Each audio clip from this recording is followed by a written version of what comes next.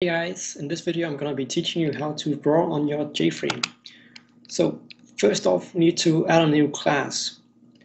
I'm going to call this class screen.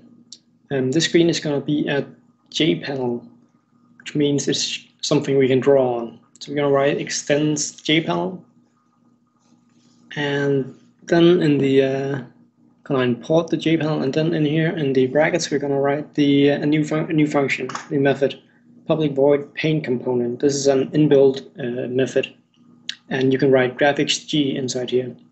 This methods, method gives, gives us a graphics object that we can uh, use to paint things on the screen. So now we use the graphics object. We type g dot uh, fill oval, and then we just fill in the the places it should be drawn and the width and height. And now our screen um, screen class is actually done. So we go on to our, our main class where we will be adding the screen. So screen, screen object equals new screen. And now we just need to add it to the JFrame. So write add and then screen. And then the program is actually done. As you can see, uh, we have now drawn in our JFrame.